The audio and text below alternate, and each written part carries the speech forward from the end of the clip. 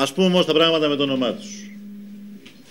Η τροπολογία, η επίμαχη, ούτε τη δημόσια υγεία υπηρετεί, ούτε τον πολίτη.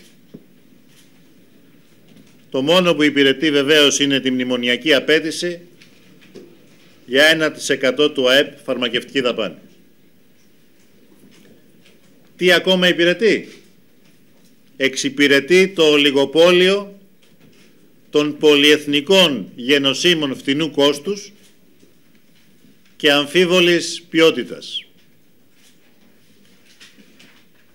Αυτός είναι και ο λόγος, διότι εμείς μοναδικό γνώμο έχουμε το δημόσιο συμφέρον, μοναδικό γνώμο να έχουμε την επάρκεια σε φάρμακα για όλο τον πληθυσμό και το φτηνό φάρμακο στον πληθυσμό. Αυτός είναι και ο λόγος ότι δεν υπηρετεί η τροπολογία αυτή αυτούς τους στόχους, αντιθέτως δημιουργεί κινδύνους. Αυτός είναι ο λόγος που όχι μόνο αρνούμαστε να τη στηρίξουμε, αλλά καλούμε την κυβέρνηση να την αποσύρει. Βεβαίως τελευταίες μέρες όλοι γίνατε δέκτες μιας απίστευτα αστείας συγκοφαντικής επίθεσης. Μιας τακτικής που ακολουθεί η κυβέρνηση το τελευταίο διάστημα πίσω από κάθε θέμα που κρύβονται δικές της συνδιαλλαγές και λαδιές. Φωνάζει ο κλέφτης να φοβηθεί ο νοικοκύρης. Μόνο που ο κλέφτης έχει γελία επιχειρήματα. Ανέδειξε ο κύριος Γεωργιάδης θέμα για μία διαφήμιση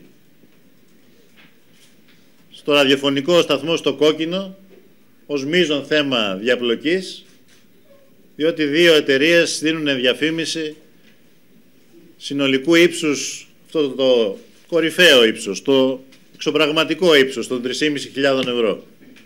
Αυτή είναι η διαπλοκή.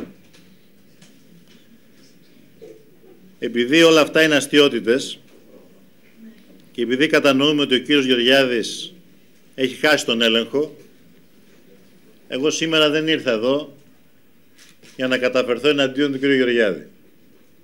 Δεν αξίζει τον κόπο άλλωστε. Ή μάλλον ήρθα εδώ για να του δώσω τα εύσημα. Ο κύριος Γεωργιάδης είναι ο καλύτερος υπουργός που θα μπορούσε να έχει μια κυβέρνηση που θέλει να διαλύσει την υγεία. Δεν υπάρχει καλύτερος. Την κάνει τη δουλειά του καταπληκτικά. Δεν θα μπορούσε να βρει καλύτερο και ο Σαμαράς για αυτή τη θέση. Επειδή όμως ξεπέρασε τα όρια και παρεκτράπη στην αγωνία του να είναι όσο πιο πολύ επιθετικός μπορεί απέναντι στο ΣΥΡΙΖΑ, εγώ τον καλώ να ξανασκεφτεί τι ανοησία είπε σε σχέση με τον ραδιοσταθμό 105 και 5 και να ανασκευάσει, να ζητήσει συγγνώμη από τους δημοσιογράφους, τους ανθρώπους που εκεί δουλεύουν, από τους ακροατές και ενδεχομένως και από τις εταιρείες αυτές που θέλησαν να διαφημιστούν όπως διαφημίζονται σε δεκάδες άλλους ραδιοφωνικούς και τηλεοπτικούς σταθμούς. Όμως, επαναλαμβάνω, εγώ σήμερα δεν ήρθα εδώ να ασχοληθώ με τον κύριο Γεωργιάδη, αλλά με την κυβέρνηση και τον Πρωθυπουργό.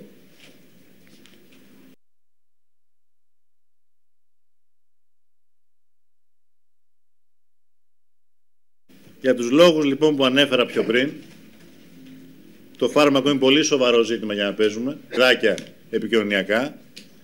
Καλό τον Πρωθυπουργό να αποσύρει την τροπολογία και να αναλάβει η κυβέρνησή του πρωτοβουλία δεκαήμερου διαλόγου και διαβούλευσης με τους φορείς για το ζήτημα της φαρμακευτικής δαπάνης. Αν πράγματι έχει στόχο, όπως διακηρύσει, τη μείωση της δαπάνης για το φάρμακο ισόρροπα και κυρίως τη μείωση της ιδιωτικής δαπάνης, δηλαδή της τιμής του φαρμάκου που πληρώνει τελικά ο πολίτης, και αν ταυτόχρονα όμως νοιάζεται εξίσου και για την εξασφάλιση της επάρκειας σε φάρμακο, τότε ας έρθει σε ένα διάλογο.